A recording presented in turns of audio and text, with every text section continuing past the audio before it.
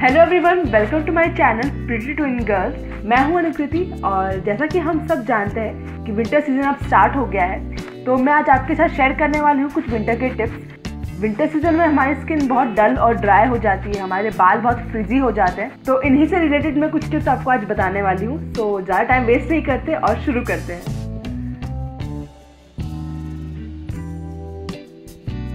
Winter season में हमारी skin बहुत ज़्यादा ड्रफ और ड्राई हो जाती है इसलिए हमें अपने दिन भर अपने स्किन को मॉइस्चराइज रखना बहुत ज़रूरी है। इसलिए हमें एक अच्छे क्वालिटी का मॉइस्चराइजर दिन भर लगाते रहना चाहिए।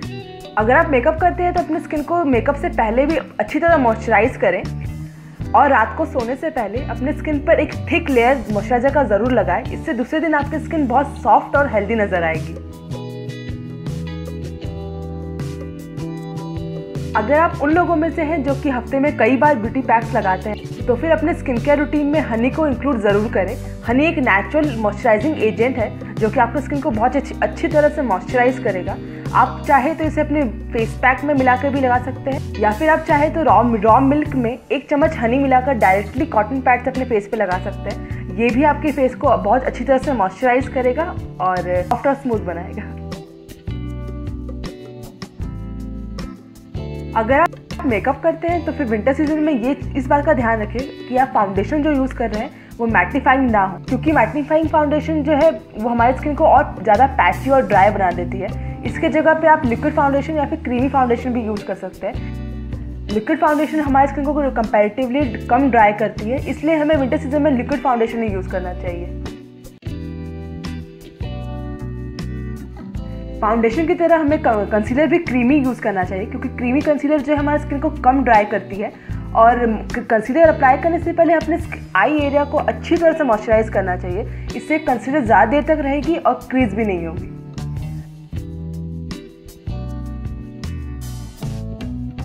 विंटर्स में हमारे स्किन के साथ साथ हमारे लिप्स बहुत ज़्यादा ड्राई हो जाते हैं। इसलिए हमें लिक्विड मैट लिपस्टिक्स को अवॉइड करना चाहिए क्योंकि वो हमारे लिप्स को बहुत ज़्यादा ड्राई करते। हैं उसकी जगह पे हम लिप ग्लॉस या फिर क्रीमी लिपस्टिक भी यूज़ कर सकते हैं।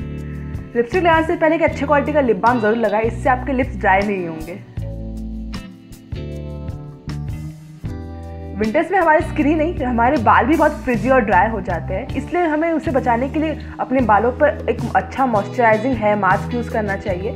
और हमें अपने बालों को वीक में कम से कम दो बार ओवरनाइट ऑयलिंग ज़रूर करनी चाहिए। आपको वीडियो ज़रूर पसंद आया होगा तो इसी वीडियो को लाइक करना बिल्कुल भी ना भूलें। और अगर आपने मेरे चैनल को अभी तक सब्सक्राइब नहीं किया है तो अभी ज़रूर करें। और तो मैं आपसे मिलूँगी मेरे नेक्स्ट वीडियो में, तब तक के लिए बाय